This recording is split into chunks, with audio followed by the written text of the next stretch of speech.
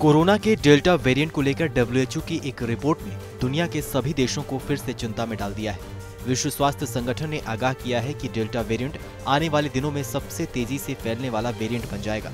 मौजूदा स्थिति की बात करें तो दुनिया के करीब करीब 100 से ज़्यादा देशों में डेल्टा वेरिएंट के मामले सामने आए हैं। डब्ल्यूएचओ के अनुसार ये दुनिया का अब तक का सबसे ज़्यादा संक्रामक वेरिएंट होगा।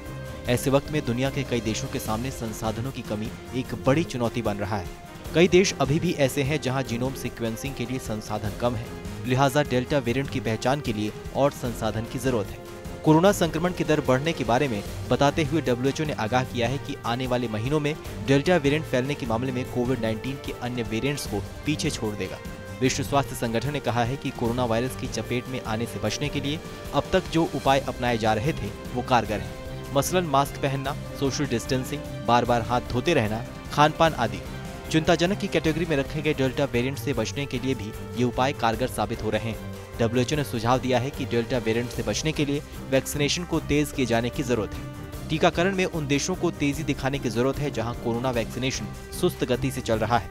माना जा रहा है कि डेल्टा वेरिएंट उस आबादी को तेज़ी से अपना शिकार बनाएगा जो अभी तक वैक्सीन से वंचित रहे हैं।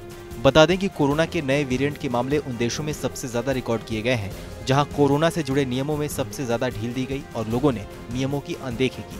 बहरहाल, आप इस समय नियमों का पालन करें। बाकी देश और दुनिया की अन्य बड़ी खबरों के लिए सब्सक्राइब करें टीवी नाइन भारतवर्ष।